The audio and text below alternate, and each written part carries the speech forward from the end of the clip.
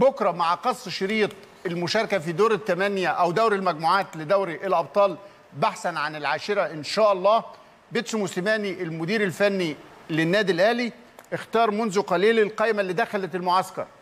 بعد هذا التمرين الأخير دخل محمد الشناوي وعلي لطفي ومصطفى شوبير ومحمود وحيد وأحمد رمضان بيكهام ورامي ربيعة وياسر إبراهيم ومحمود كهربا وحمدي فتحي ومروان محسن ومحمد شريف وبدر بنون واليو ديانج وعمرو السولية ومحمد مجدي قفشة وسعد سمير وأكرم توفيق وولتر بواليا وجونيور اجاييه ومحمد هاني.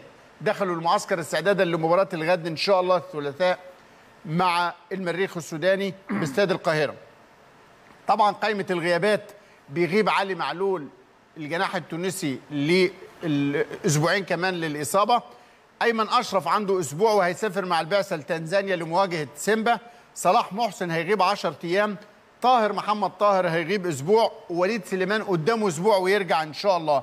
يعني إصابات مؤثرة جدا للإصابات المختلفة غيابات مؤثرة لكن الايقاف كمان لحسين الشحات حسين كان بعد مباراة الزمالك خد إيقاف أربع مباريات قضى منهم مباراتين وبيقضي المباراة ديت ومباراة سيمبا التنزاني يرجع بعديها إن شاء الله.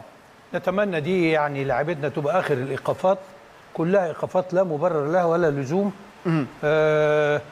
حسين لعيب مؤثر جدا ودوره كان معانا في آه، كأس العالم للأندية. يعني كان مؤثر جدا. آه، بإذن الله كلنا نستفيد من هذه الدروس والفريق آه، يعني يستكمل صفوفه قريبا جدا. لكن لافت نظري طبعا دخول رامي ربيعة وهو هيكون إضافة. آه، غياب علي معلول وأيمن أشرف الاثنين إنما آه، يعني ربنا سهل. آه، آه، يعني ما يكونش غيابات مؤثرة. محمود وحيد بيدخل؟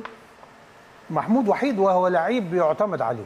أيوه. وأنا أثق في قدراته وإحنا شفناه قبل كده وما كانش يعني آه، كان إيجابي جدا في مكانه وربنا سهل إن شاء الله.